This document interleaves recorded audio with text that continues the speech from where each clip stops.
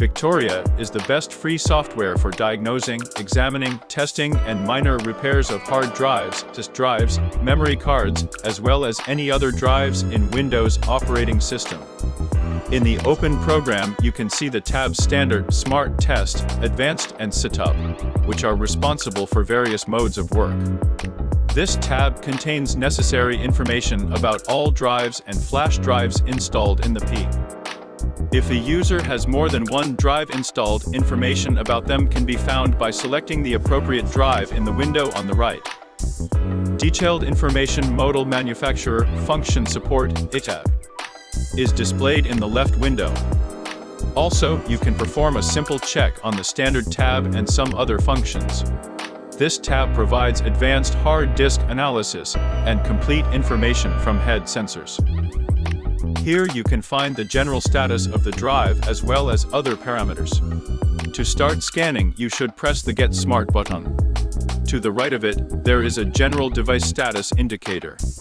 Besides, this tab contains a wide range of functions for working with the drive. The Tests tab provides basic functionality to check your hard drive for errors.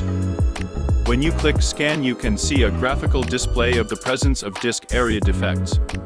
Under the Scan button, there is a colored column displaying the number of incorrectly working sectors.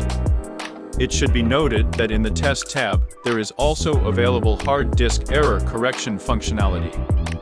It is located on the right side of the program window.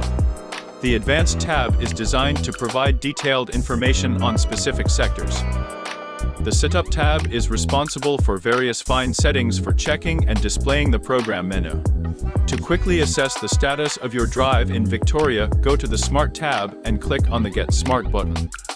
Now you should pay attention to the important points and the raw parameter. Other important smart points you should know about.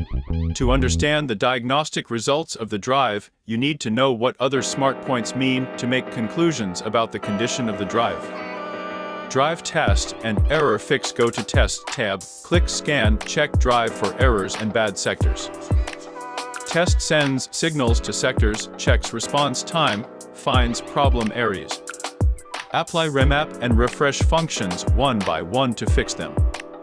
Victoria can to repair physical defects or complex damages, but can recover many areas and boost P performance. Erase function overwrites block with zeros if sector unreadable.